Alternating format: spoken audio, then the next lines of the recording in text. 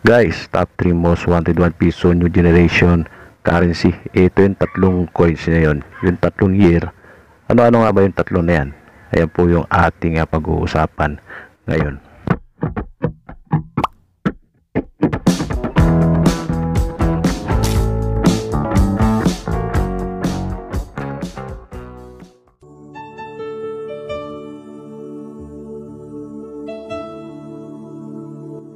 Alright guys, welcome back to my channel Kalime Online po. Sa mga baguhan lang, huwag kalilimutang mag-subscribe at mag-join po kayo sa ating membership at pag nakapag-join, makakapasok po kayo sa ating group chat. Okay guys, ating pag-uusapan yung 1 piso, new generation na currency coins.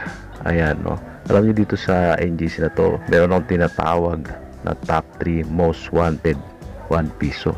Siyempre, kaya natin nasabi yan kasi maraming nangungulik eh. Maraming uh, uh, nag-e-effort para makakuha sila at makabuo nitong mga hard to find or rare na nga nating masasabi.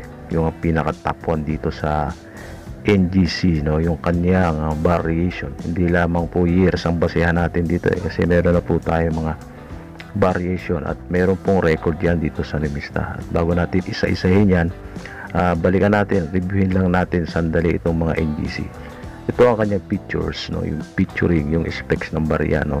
Syempre yung kanyang country ay Philippines uh, period uh, republic. At yung uh, 1946 na date. Ang uh, type ng coin nito ay uh, standard uh, circulation coin guys uh, at yung years 2017 18 and 19 so 3 years at ang value ang kanyang face value 1 piso at ang composition nitong uh, mga baryang ito ay nickel plated steel. O, may halo itong uh, bakal kasi may steel eh, no? Tinitimbang itong uh, 6 sarado sa 6 gram ito at ang kanyang diameter ay 23 mm at kumakapal ito ng uh, 2.05 mm ayan at sa pinakaibaba nito makikita nyo yung kanyang KM number 300 na pwede natin gamitin kapag tayo ay magli-listing sa eBay. Kailangan po yan. So guys, ito yung ating uh, coins. Uh, 3 years yan.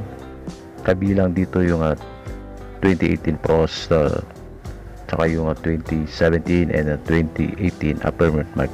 Pero unahin natin itong uh, 2018 Pros. Ito siya, no? 2018 uh, BSP. 3% ito guys. At mababa mintage, no? Uh, the mid mark is near the World Rizal and the fine hair details of Jose Rizal. Prost. Ito po yung Prost at uh, kanyang frequency ay uh, 3%. At kung makikita mo yan sa personal, ayan ang kanyang uh, Prost. So, nagsashine yan na parang uh, halos kahawig ng mid laser. Pero iba po ito mga Prost, no? Yung uh, meron pong uh, texture yung uh, mga Prost ko na yan. Ayan, kung mapapansin niyo Kung kayo po ay familiar na dyan, sa biglaan tingin, syempre, mapapansin nyo agad yung kanyang kakaibang appearance no?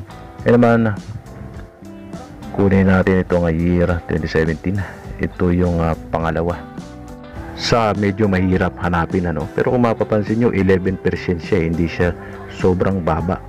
Pero ang nangyari kasi dito sa mga 2017 na ito ay uh, parang hard to find na siya eh ang hirap hanapin ito eh. Kung hindi ka gagawa ng effort kung hindi ka magpapabarya ng maraming barya eh hindi ka basta-bastang makakakuha ng itong mga year 27 na ito. Diba? at ang value niya dito nga isa kasulukuyan ay 78.63 ito uh, yung iba tinuturing lamang nila itong mga semi hard to find. So maaaring nga depende rin sa lugar. Siguro may mga lugar dito sa Pilipinas na uh, medyo madalang lang. At uh, makakakuha ka pa rin. Pero may mga lugar nga may mga nagko-comment kasi sa ating mga uh, content na hirap daw silang makakuha nitong mga year 2780 kaya naman yung top 1 para sa akin na talagang uh, rare na maituturing ito. 2018 na upper mid mark no? kung makikita nyo agad guys napakababa. 2.0 lang eh. So, upper mid mark mid mark is right above from the letter L of Rizal the word Republica is above the first letter I of the World Pilipinas at yung isa pang palatandaan dyan yung letter P nitong uh, 2018 upper mid part nito ay nakasampa doon sa may uh, kurbadang buhok 'Di ba? Nasa kabila 'yan, yung may arrow na 'yan. Tapos yung uh, mid mark niyan, medyo nakataas lang, hindi talagang nasa gitna katulad ng 2019 upper mid mark eh. Sa reverse niyan, ah halos ko mo lang silang pare-pareho lang pagdating sa kanyang reverse. Yan, sa obverse niya, no? At uh, ayan lang, titignan nyo agad. Pag sa personal, makita nyo, mamaya inahawakan nyo na, eh, mapakawalan nyo pa. Kaya dapat na maging mapanuri kayo. Di ba guys? At kung uh, medyo nalilito kayo, syempre guys, puntahan nyo lang dito sa Google. Google nyo lang yung end.nemista.com. Mata magbasa-basa kayo. Dahil sa pagbabasa-basa, matututunan po natin yan. At tignan po nyo yung mga picture. Yung mga details. May mga link po yan dyan. Ayan. Kung pag-uusapan natin, kung mapansin nyo, halos sa walang value sa nemista itong mga to. No? Kung ako po ang tatanungin nyo kung ba't walang value, eh, abay malay ko. No? Problemahin ko pa ba yan? no? Hindi. Ah... seriously ah, kasi maaring kasi nga rare itong mga to or hard to find itong mga to wala pang ah, palitang naganap sa mga taon na ito kaya sa ngayon sa kasalukuyan ay wala pang value sa end.invista.com pero sa labas kapag nangailangan ka dyan at meron ka makatransaksyon guys may value na po itong mga to. Ah, hindi na lang natin na ididetalye kung magkano ang eksakto kasi wala pang collector's price eh.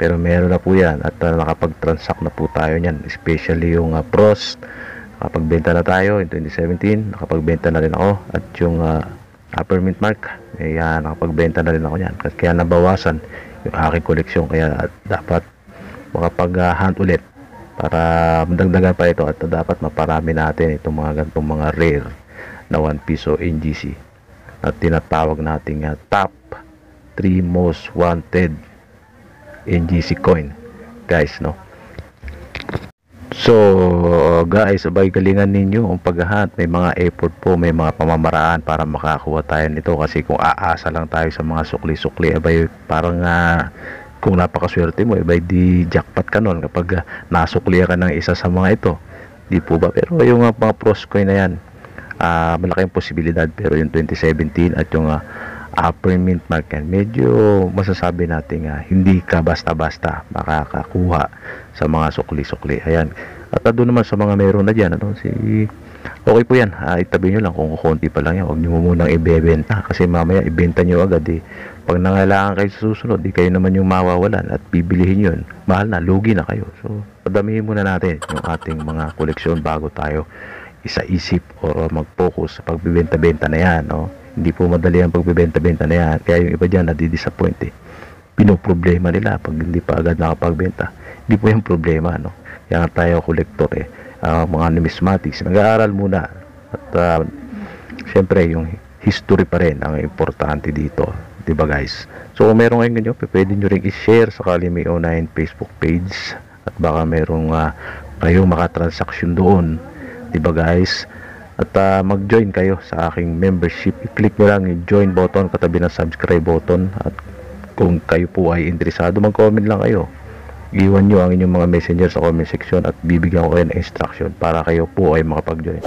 So ayun na po guys. So that's all for today. God bless po sa inyong lahat. Kita kits